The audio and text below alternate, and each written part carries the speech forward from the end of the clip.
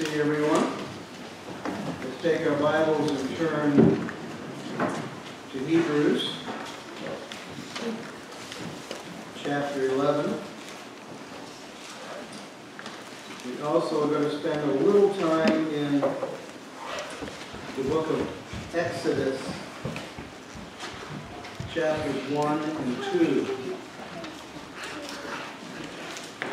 So you might want to turn to both places, Hebrews 11 and Exodus chapter 1.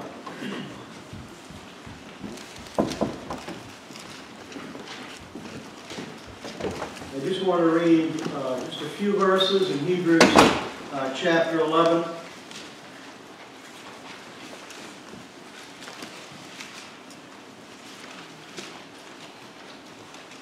We're talking about Moses this morning, Hebrews chapter 11, verse 23.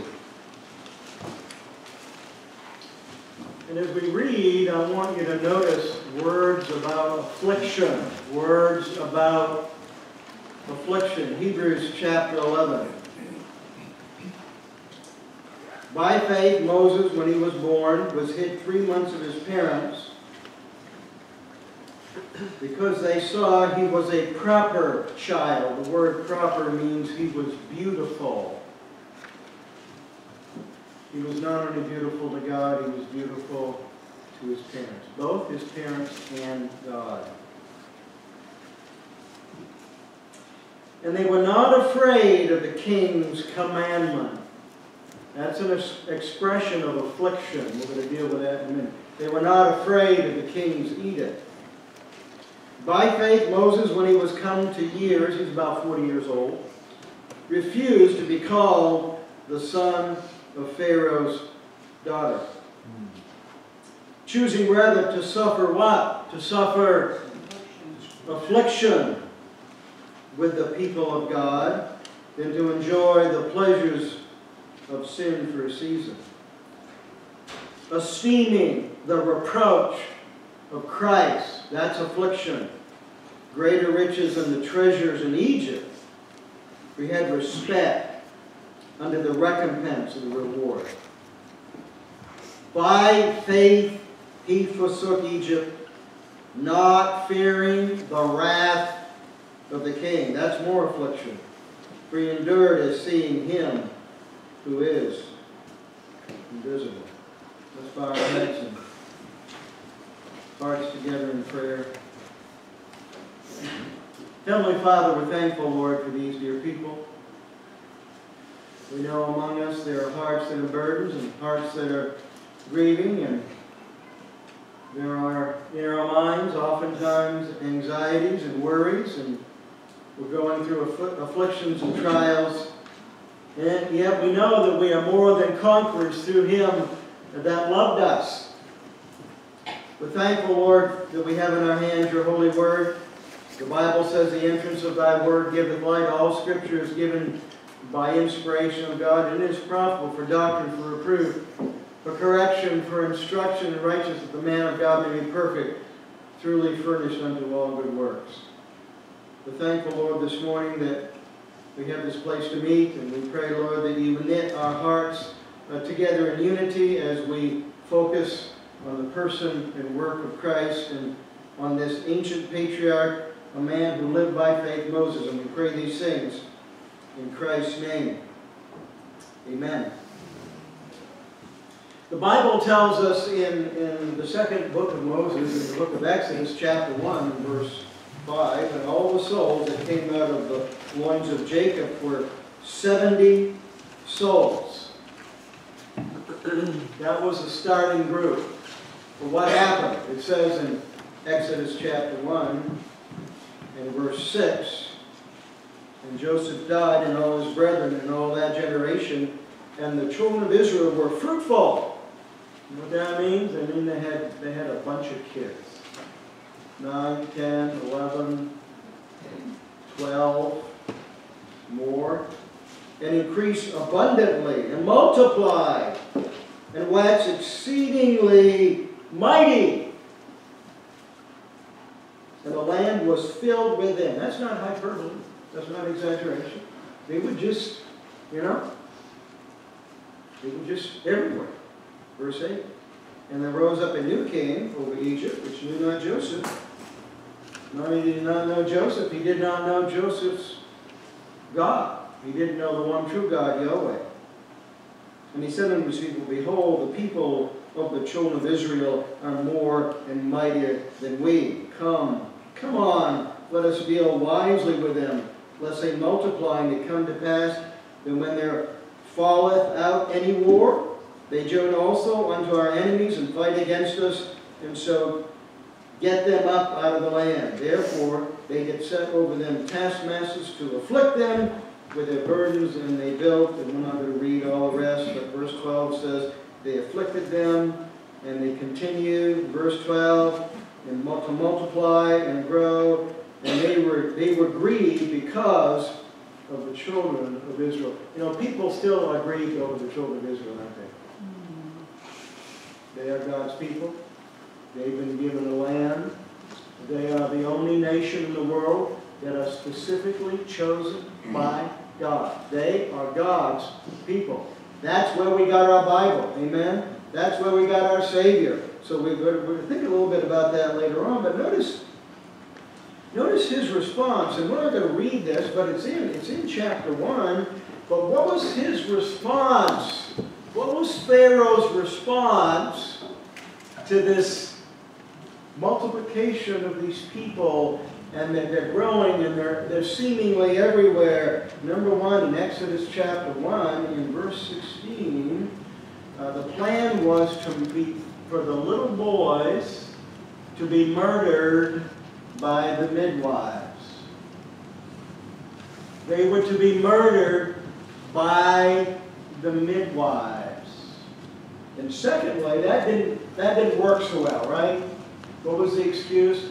Well, those Jewish ladies that by the time we show up, by the time the midwife shows up, the babies are arrive. So what do you do then? So then the plan B in Exodus chapter 1 verse 22 is throw them in the, in the Nile River. Do you think that's affliction? Do you think there's any anti-Semitism in Egypt during those days? Have, have the mothers, the, the midwives, kill them, with the parents right there, the relatives right there, or if that doesn't work, then throw them in the river. So that's that's a response. So what it, that's Pharaoh's response, but what what was Moses' parents' response to all of this? Again, back in Hebrews chapter 11, let's notice, if you will, verse 23. By faith, everything's by faith. This whole passage is almost like a song. By faith and through faith, and by faith and through faith. You can almost read it. All right? By faith and through faith. So it says in verse 23, by faith Moses, when he was born, was hid three months of his parents. If you raise little ones, some of them are not quiet, right? Some are quiet, and that's that's a real blessing. Amen. We had two kids and two screamers. Okay? It went on, uh, well, Brendan knows the exact time, but it went on for months and months, years?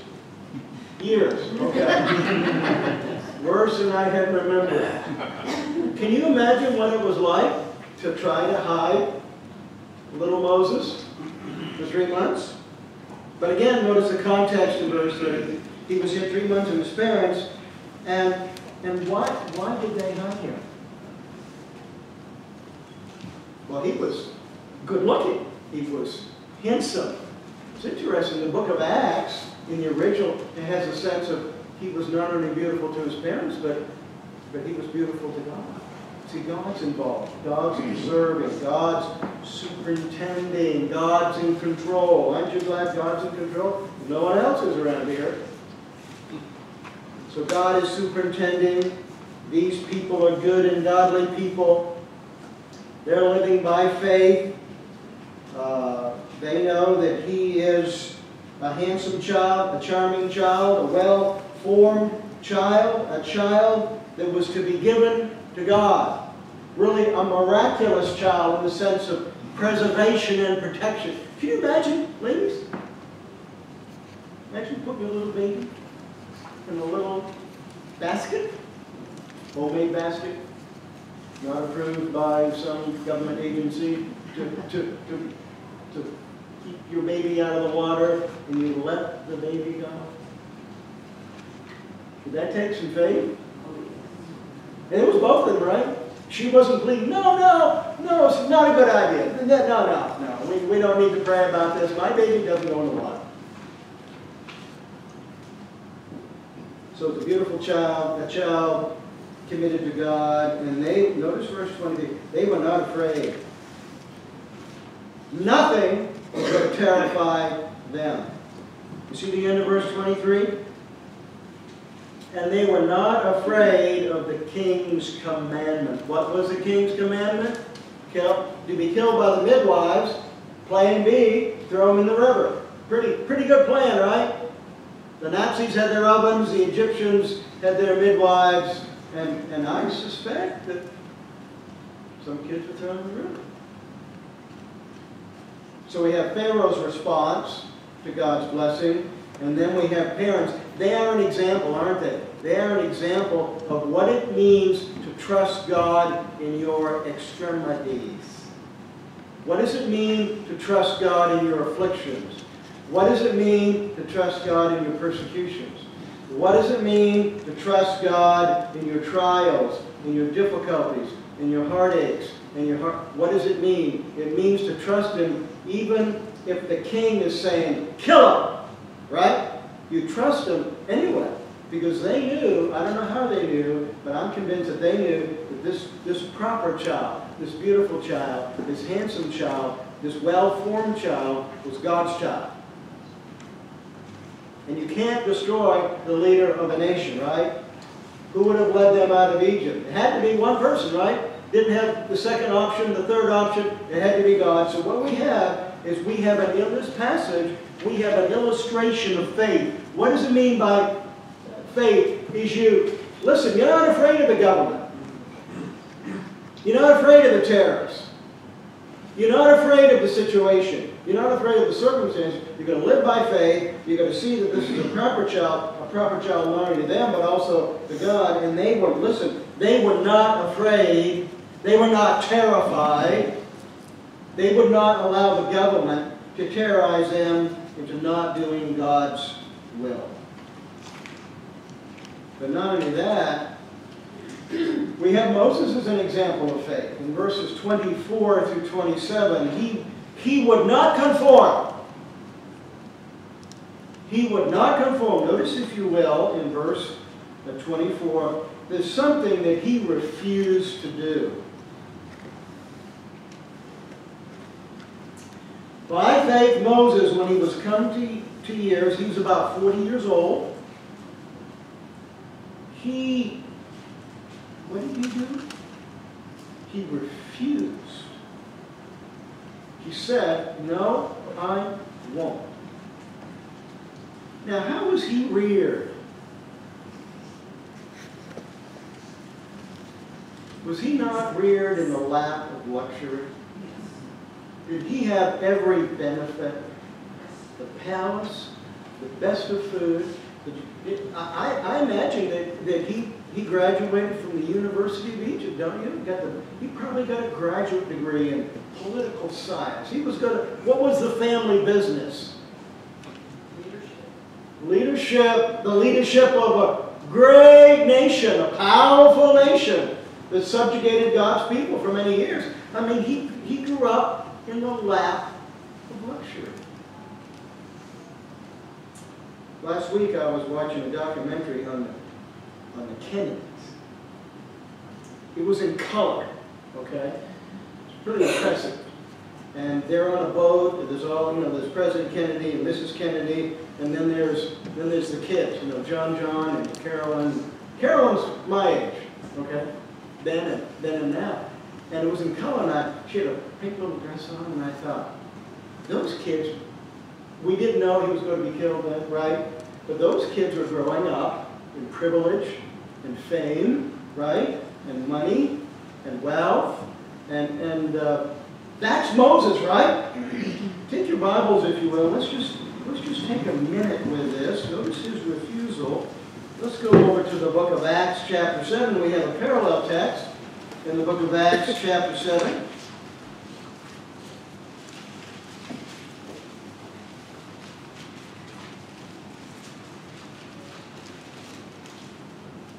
I'm going to read, read a few verses here.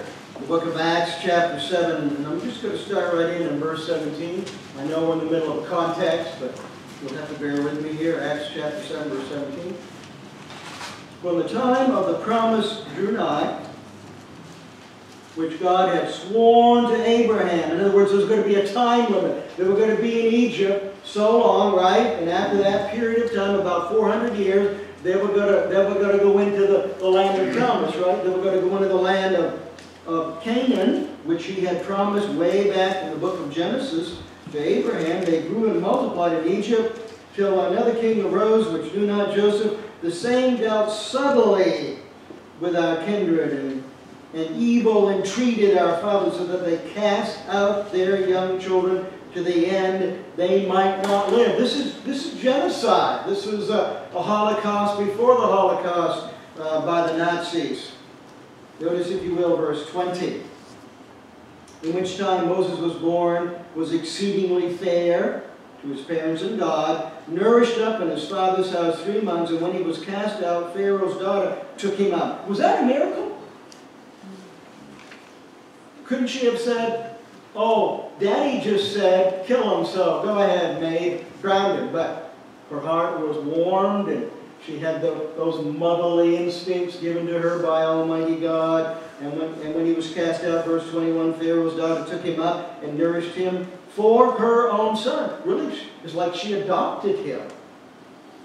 Now notice this. Notice verse 22.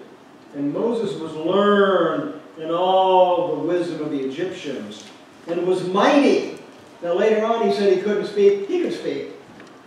How was he mighty? How was he proficient? How was he articulate? In words, his words, and his actions. He was a, he was a tremendous, natural, well-trained, educated leader. Verse 23. And when he was fully 40 years of old, he came into his heart to visit. Who is he visiting? Notice what it says. His brethren. And who are they?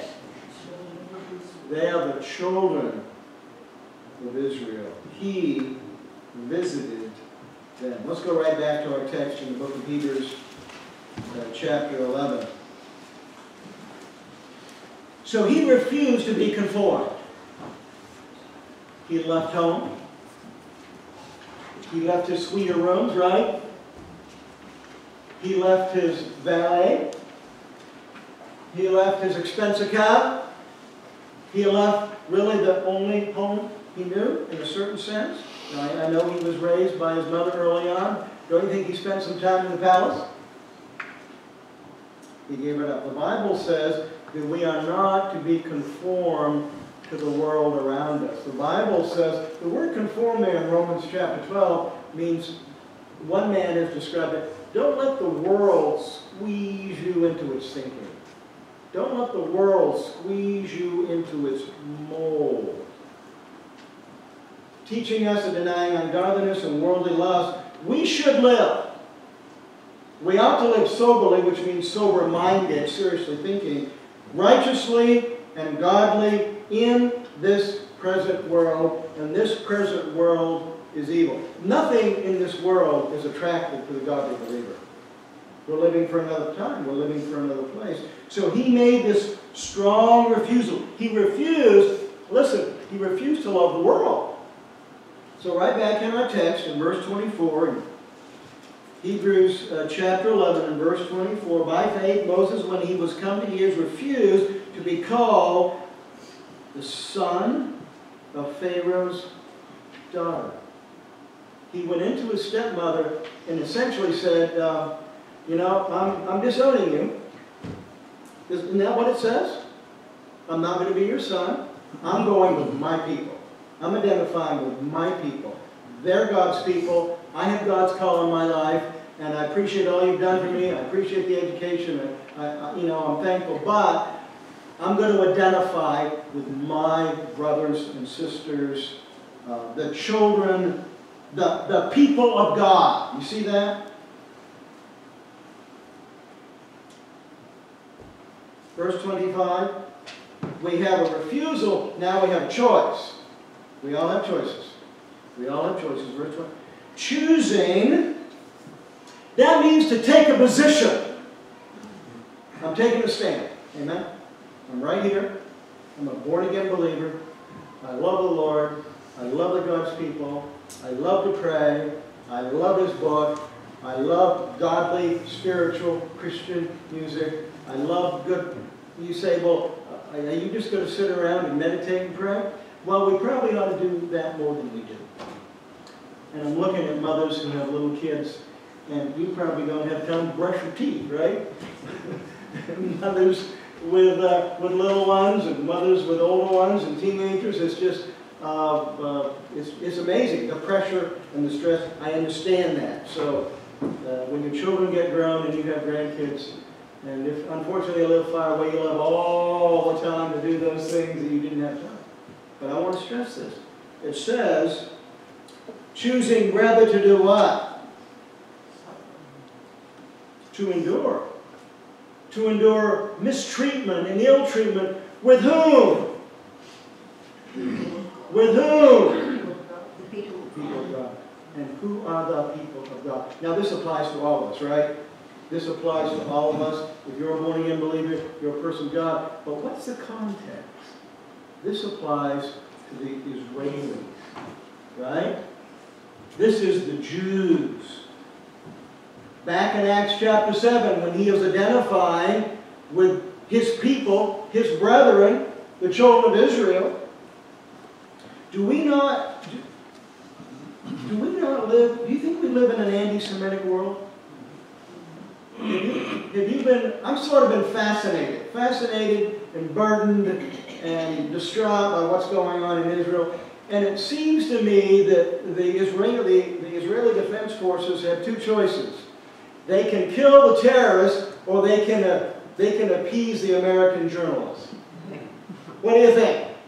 Do you think they ought to kill the terrorists or do you think they ought to appease the American journalists? Everything is equivalent. Everything is not equivalent. All wars are not sinful. There are some wars that are based that are wrong, but there's such a thing as a just war. If you don't believe me, start reading in Genesis and read all the way to the end. And there's times when God's people were to go to, to war against God's enemies. And the terrorists in Israel today are the enemies of Yahweh. They are enemies. As a matter of fact, you know who the ultimate anti-Semite is?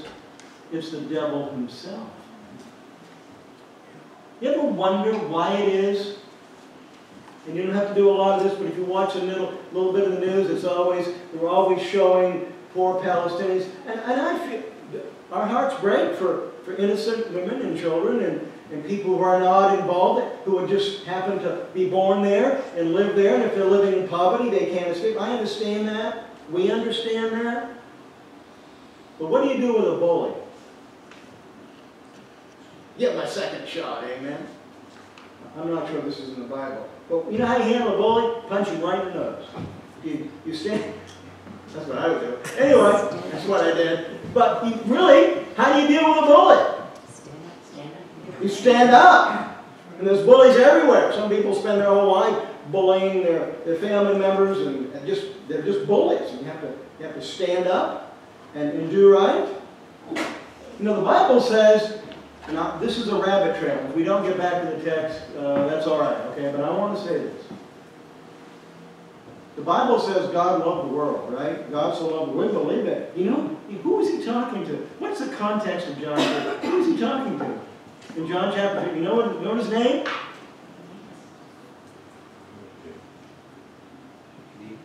He was talking to Patrick from Northern Ireland. No, no, Scotland. Who was he talking to in John 3?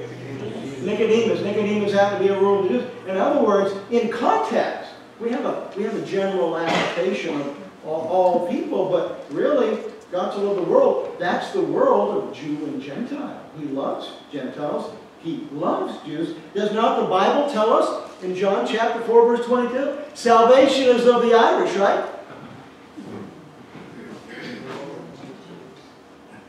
John 4, 22, you know that verse? Salvation is of the Jews. Boy, we need to remember that in our culture. Remember, remember Esther chapter 3? Remember the book of, I've been reading the book of Esther. Thinking about the book of Esther, meditating on Esther. Wonderful book. Um, what did Haman try to do? Destroy them all, right? And what did God do to Haman? What did the Nazis try to do? What did God do? What are the terrorists trying to do today? What's God going to do? I believe it. I'm convinced of that. Why do we have so much hatred toward the Jews? We have this terrible hatred because of the devil himself. That's the reason. I'm going to turn to two passages. You can turn with me if you would like. Revelation chapter 20 and Romans chapter 10. Revelation, Revelation chapter 20.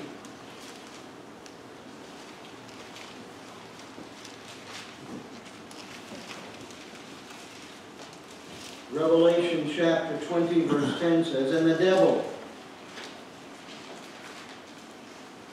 that deceived them was cast into the lake of fire and brimstone where the beast and the false prophet die, and they shall be tormented day and night forever and ever. That, the ultimate anti-Semite is going to be cast not into hell, but into the lake of fire. Therefore, we need to be, we need to be convinced that the gospel is to go to everyone. Everyone without exception. We need to, we believe that the gospel should go to everyone. So I want to turn to Romans chapter 10 just for a minute. Doing a lot of turning and we'll try to get back to our little outline here. Romans uh, chapter 10, verse 10.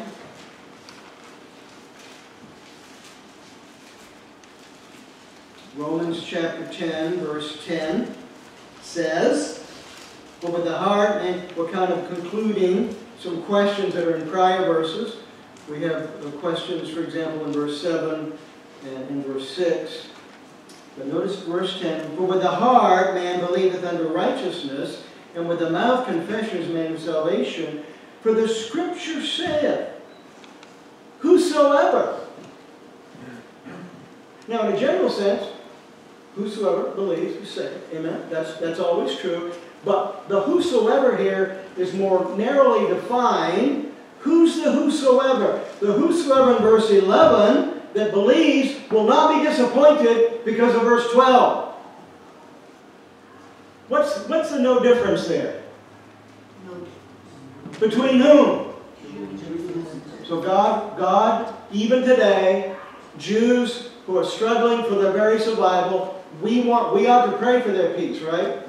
God will prosper those who pray for the peace of Jerusalem, according to the Psalms. But listen, folks, we need to pray that they would receive their Messiah. He has come. He's going to come again. And I believe that someday the nation will turn, will turn to the Savior and believe. We need to pray for that. Thy kingdom come, thy will be done. A lot of churches recite that every week. They don't think about it. The king, the king is coming. He's going to bring his kingdom with him, and that's going to include the nation of Israel and we Gentiles uh, as well. But it says in verse 12, For there is no difference between the Jew and the Greek, for the same Lord over all is rich unto all that call upon him. Notice verse 13, But whosoever shall call upon the name of the Lord shall be saved. And you say, How is a Jew saved today? They need to call upon Jesus as their Messiah. They need to receive their Messiah. He is their He's our Messiah. We are, are we not the children of Abraham by faith? They are physical children, but they need to be spiritual children. A born-again believer who's a Gentile is a spiritual child. We're not, we're not a physical child, but, but Abraham is our father. Does not the Bible say? He's a father of us all. We need to believe on the Messiah. We need to believe the Hebrew Scriptures. We need to believe the Greek. We need to believe the whole thing. Old Testament and New Testament are all one unit that is dovetailed together. That was a rabbit trail. It ends right here. Okay. What do we have? He's a man that refused, he refuses the world, refusal, and then he has his proper choice. Let's go right back to our text in chapter 11 in verse 25. Chapter 11, verse, choosing rather to suffer affliction with the people of God. That's his brethren. That's the children of Israel. Acts chapter 7, verse 23. We ought to look at that. To suffer affliction with the people of God, than to enjoy the pleasures of sin for a season. And that doesn't mean he was acting wild and going to wild parties. That means, that refers to the ease, the comfort, the honor, the position, the food, the rest, and the education of the world. He gave up, he gave up good things for Christ. He gave up good things for his people. He gave up good things to, to eventually to wander around the wilderness. His refusal, his choice, and thirdly, very quickly moving over, esteeming the reproach of Christ. So we have, uh, he's, he's considered it, he's thought about it, he's reckoned on this, and he realizes that defamation's okay. Insults are okay. Ridicules, ridicule is okay for the Lord. Notice what it says. Esteeming the reproach of Christ. Ever had someone come up to you and say, do you take the Bible literally? Now that's a trick question. We don't take Proverbs literally. That's Hebrew poetry, right? There's history in the Bible. There's poetry in the Bible, right? There's biographical, Matthew, Mark, Luke, John. That's who's who are they talking about? It's talking about Christ. There's didactic teaching. There's apocalyptic, right? Think of the book of Daniel. Think of the book of Revelation. Pictures, beast out of the earth, right? Beast out of the sea. There's all different types of literature in the Bible. That includes literal. That, that includes parables, right? A sower went out to sow, speaking of the gospel. That's not talking about a literal farmer. That's talking about the spreading of the seed of the gospel. We take the Bible in all those legitimate ways, including literal. And by the way, we always approach the Bible literally first, and then if it's not literal, we have to analyze that differently. That was an aside. So we have this, this estimation. We believe the Bible, believe, believe the Word. And very quickly, the end of verse 26 and 27, we have a forward look. He refused, he chose, he made an estimation. The reproach of Christ, greater riches than the treasures in Egypt. Do you think there are any treasures in Egypt? For he had respect. The word respect in the original language literally means preposition away from, and the root, the main word means to see. Now watch, watch look at me, watch me. Away from, to see. He turned away from wealth, he turned away from prestige, he turned away from his step-parents, right? He turned away from a great career as a leader of, of, at that time, a great nation. He turned away and he looked, he looked to the Lord. By faith. And what did he become for the next 40 years? Do you remember? Do you think he ever longed for the, the leeks and garlics and nice robes and intellectual discussions? You ever long for that? The palace? Notice what it says. He had respect. He looked away from unto the recompense of the reward. And notice the last by faith. We're almost done. By faith, he forsook Egypt. He took a stand. He believed the Bible. He believed the promises. He believed God. Not fearing the wrath of the king. You can't live by faith and simultaneously live a life of anxiety, doubt, worry, care, and unbelief. You, you, can't, you can't do it. Don't try it at home. You can't do it. You can live by fear, or you can live by faith. It says by faith because Egypt, not fearing the wrath of the king, for he endured. He endured! Amen? He kept going, he persevered, he looked at Jesus, he looked at the Lord, he held out, he endured. Listen, he was strong. Amen? He was strong, even in his weaknesses, even in his failings, even in, with his old disposition, sinful nature, as seeing him who is invisible. Amen? I trust that we will live. When you approach this afternoon and tomorrow, and your decisions and what you deal with, just remember Moses' parents. Amen? And remember Moses. Those people believed the promises and looked to the Lord.